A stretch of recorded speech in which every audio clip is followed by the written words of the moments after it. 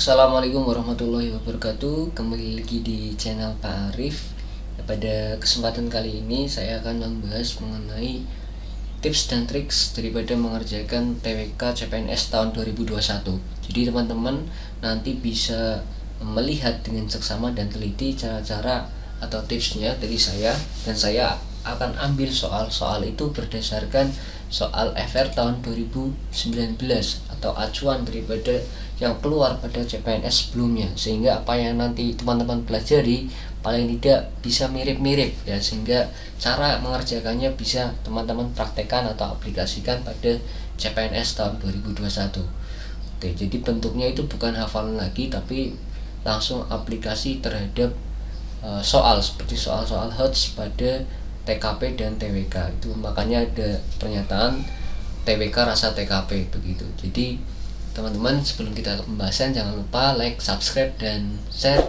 ke teman-teman yang lain supaya lebih bermanfaat. Oke langsung saja kita ke pembahasannya. Oke di sini ada FR soal TWK CPNS mengenai Pancasila ya. Di sini soalnya Menteri Kelautan dan Perikanan Susi Pujiastuti tahun 2014 sampai 2019 melakukan penenggelaman terhadap kapal-kapal negara asing yang berusaha mencuri ikan di perairan negara Indonesia. Hal tersebut merupakan A. Pelanggaran sila kedua B. Pengamalan sila kedua Kemudian C. Pelanggaran sila ketiga D. Pengamalan sila ketiga E. Pengamalan sila kelima dari pilihan option di atas ya teman-teman bisa melakukan eliminasi tipsnya ya. Jadi yang ini kan kata kunci pada soalnya itu berarti Menteri Kelautan itu melakukan penenggelaman kapal-kapal asing yang mencuri ikan berarti otomatis sudah betul bukan merupakan pelanggaran. Jadi ini yang A dan C kita eliminasi sehingga kita fokus ke B, D, dan E. Ya teman-teman juga perlu mengingat kembali ya pengamalan sila-sila yang ada di Pancasila itu apa saja ya. Nah jadi tinjauan Pancasila ya tindakan penenggelaman tersebut itu tujuannya apa sih ya? Tujuannya untuk menyelamatkan sumber daya alam yang dimiliki oleh Indonesia daripada pihak asing ya. Hal tersebut itu menjiwai pengamalan butir sila ketiga dalam Pancasila yaitu mampu menempatkan persatuan dan kesatuan serta kepentingan dan keselamatan bangsa dan negara ya seperti kepentingan bersama di atas kepentingan pribadi dan golongan. Jadi dengan menyelamatkan sumber daya lautnya di sini ya dalam konteks soalnya ini itu termasuk daripada menjiwai sila pengamalan sila ketiga ya. Jadi di sini masuk ke pengamalan sila ketiga kalau sila kedua bagaimana Pak Arif? Ya. Jadi kalau uh, pengamalan sila kedua ya yang ini itu jadi pengamalan sila kedua itu kaitannya dengan uh, kemanusiaan yang adil dan beradab. Jadi di dalam kemanusiaan yang adil dan beradab itu ada, ada apa saja sih? Jadi ada persamaan derajat ya saling mencintai sesama manusia tidak semena-mena terhadap orang lain ya. Kemudian ada menjunjung tinggi nilai-nilai kemanusiaan yaitu kaitannya dengan Nah, sila kedua, kalau saya kaitannya dengan sila kelima itu tentang keadilan sosial bagi seluruh rakyat Indonesia. Itu kaitannya dengan mengembangkan atau mencerminkan sikap kekeluargaan, gotong royong, bersikap adil. Ya, jadi eh, teman-teman uh, nanti akan saya sertakan di link deskripsi mengenai uh, apa namanya pengamalan sila daripada lima sila tersebut sehingga teman-teman bisa mengingat kembali. Oke, jadi udah jelas ini termasuk pengamalan sila ketiga dalam Pancasila. Oke, kita lanjut ke FR soal CPNS tentang nasionalisme. Ya. Di sini ada soal pada masa pergerakan nasional banyak permunculan organisasi-organisasi yang bertujuan memperjuangkan kemerdekaan Indonesia. Adapun organisasi yang muncul pada pergerakan nasional salah satunya adalah Sarekat Islam yang sebelumnya bernama Sarekat Dagang Islam. Adapun tokoh yang mengubah nama dari Sarekat Dagang Islam menjadi Sarekat Islam. Nah, teman-teman juga perlu diketahui ya, ada 1 2 sampai 3 soal yang kaitannya dengan nasionalisme kaitannya seperti ini ya tentang sejarah-sejarah Indonesia. Teman-teman juga harus memperbanyak literasinya ya supaya tidak uh, ketinggalan informasi atau tidak lupa pada saat mengerjakan nanti. Ya kita kupas satu persatu. Ya kalau Kiai Haji Hasim Asari itu adalah pendiri NU atau Nahdlatul Ulama. Kemudian kalau Kiai Haji Ahmad Dahlan dia adalah pendiri daripada Muhammadiyah. Nah kalau host Cokroaminoto itu adalah tokoh yang mengubah nama syarikat dagang Islam menjadi syarikat Islam. Adapun alasan pengubahan itu untuk apa? Untuk memperluas ruang lingkup organisasi yang semula itu hanya di bidang ekonomi ya dalam bidang perdagangan ya, menjadi ekonomi dan politik namanya syarikat Islam dan sebelumnya ya namanya Haji Samanhudi jadi Haji Samanhudi ini adalah pendiri daripada syarikat dagang Islam kemudian Haji Agus Salim itu siapa sih? Itu salah satu tokoh dalam panitia 9 yang bertugas dalam perumusan dasar negara. Jadi yang paling tepat itu adalah host Cokro Aminoto atau yang kita sebut dengan Raja Jawa tanpa mahkota ini adalah sebutan atau daripada Cokro Aminoto. Oke, lanjut kita ke FR CPNS tentang Pancasila lagi. Ya, pemerintah Indonesia mengadakan hubungan bilateral dengan negara lain dalam bidang ekonomi. Hal tersebut merupakan pengamalan sila keberapa? Oke, silakan teman-teman coba uh, jawab dulu, simpan jawabannya. Kira-kira apa teman-teman?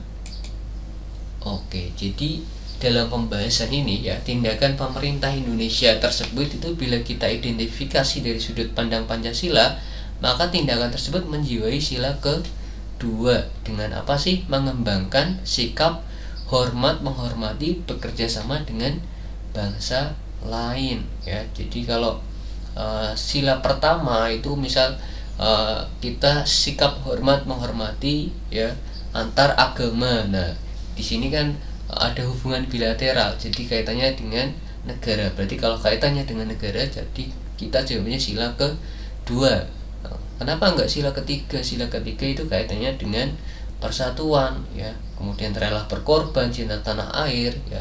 Intinya pengamalannya bagaimana ya. Keempat itu biasanya tentang musyawarah ya. Kemudian tidak memaksakan kehendak orang lain ya. Kalau kelima itu biasanya tentang gotong royong, kemudian mencerminkan sikap suasana kekeluargaan ya kalau sila kelima. Nanti uh, deskripsi yang saya cantumkan pada link di bawah video mengenai pengamalan masing-masing sila. Ya sehingga teman-teman bisa uh, meresapi dan menjiwai ya kira-kira kalau soalnya seperti ini termasuk pengamalan sila keberapa. Nah itu sering sekali pada FR tahun 2019 ya. Oke. Jadi jawabannya adalah sila kedua ya. Jadi untuk hubungan bilateral kalau ada soal seperti ini lagi ya kaitannya dengan kerjasama luar negeri uh, hubungan negara Indonesia dengan negara lain itu termasuk sila kedua. Kalau kaitannya antar agama sikap menghormati antar agama berarti masuk sila ke satu. Oke teman-teman langsung saja.